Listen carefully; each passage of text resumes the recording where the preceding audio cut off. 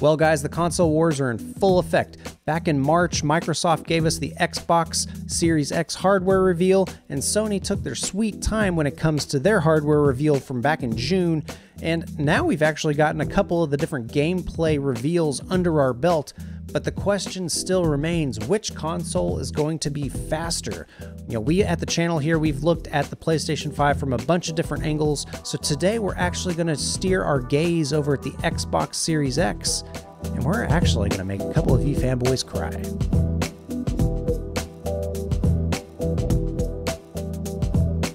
Hey guys, Terk here. Hope you're having a great day. Like I said just a second ago, we've covered the PlayStation 5. You know, we've made a mock-up PlayStation 5 build with current gen PC hardware. We've looked at the RDNA 2 architecture and what the performance could look like with their performance per watt claim.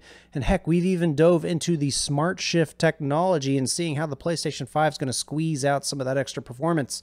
But today we still have that question, which console is going to be faster? But before we can answer that question, we need to look back at those specs and see what just each of these consoles has powering it. Both of these next gen consoles are going to be utilizing AMD's current gen Zen 2 CPU architecture, and we're not really going to cover that a lot today. We're going to be mainly focused on the graphics card or the GPU, and that's where they're starting to get a little bit interesting. Both are going to be using the next generation RDNA 2 architecture from AMD, but they're going to be splitting up the core counts or the compute units, the CUs, and they're going to be changing up the clock speed for the GPU a little bit in order to satisfy their needs. The PlayStation 5 is going to be using 36 of those RDNA 2 CUs, but they're going to be boosting up to about 2.23 gigahertz, which is a pretty fast speed. But on the other hand, Xbox is going to be using a massive 52 compute units, but they're going to be clocking those down to about 1.82 gigahertz. And that's where the debate's going to be down in the comments.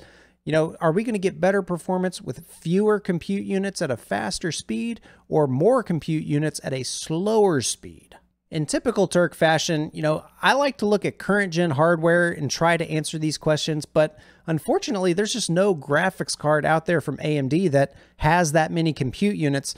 And then when you try to fashion up some multi GPU Frankenstein system, you know, you'd need to combine a 5600 XT and a 5500 XT and you know, the AMD driver software just isn't that stable, and DirectX 12's heterogeneous multi GPU that doesn't work really well at all.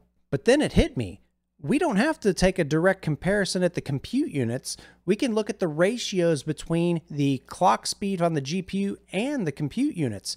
And we have two graphics cards that satisfy that. We've got the RX 5500 XT and whoosh, the 5600 XT.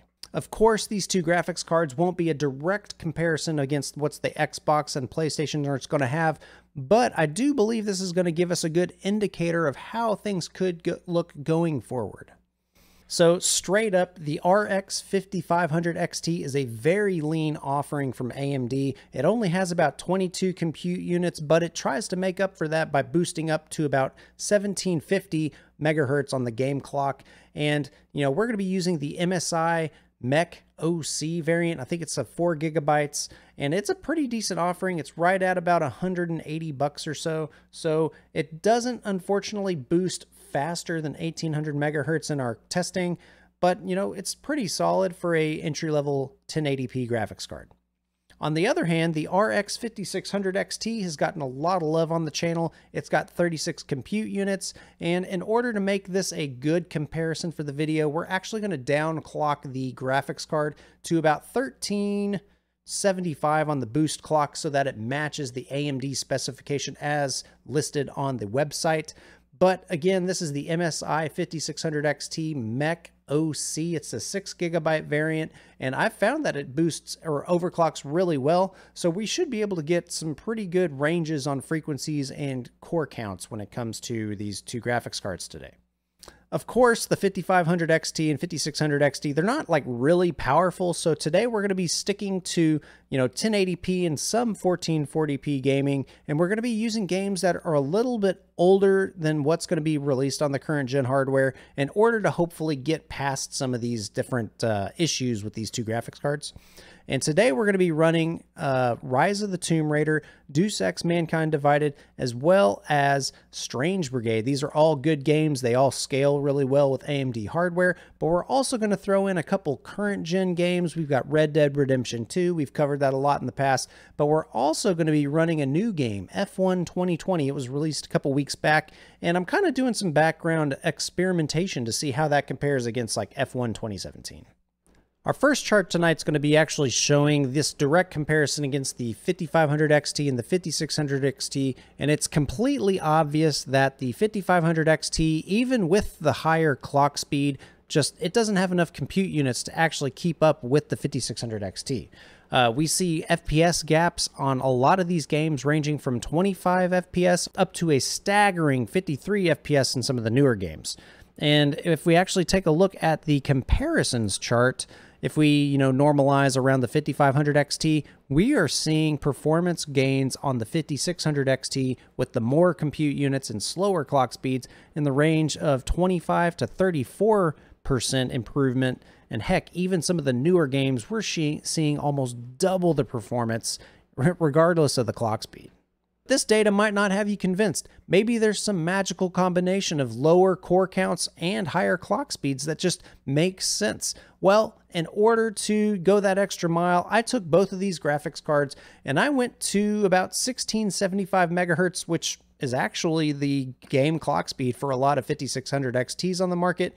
And I went down as low as I could go according to the driver, and I went to about 850 megahertz. And since I had two 5600 XTs at my disposal, I went ahead and did a multi GPU comparison to see what a massive 72 core count or compute units looks like, and I just want to show you what that chart looks like.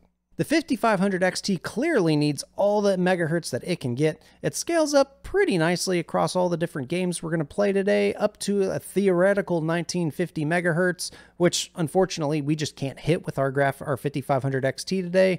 And this performance is actually matched by the 5600 XT at an amazing 1050 megahertz on the GPU clock. What's more impressive is just how much better the 5600 scales when it, when you start increasing the clock speed since it has those extra compute units.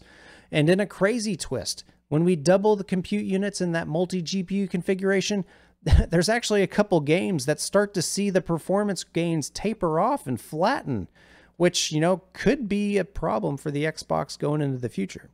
An important note, I did switch over to 1440p as my resolution, mainly because that's the resolution I have on my gaming computer, but it also gives us a good mix of data.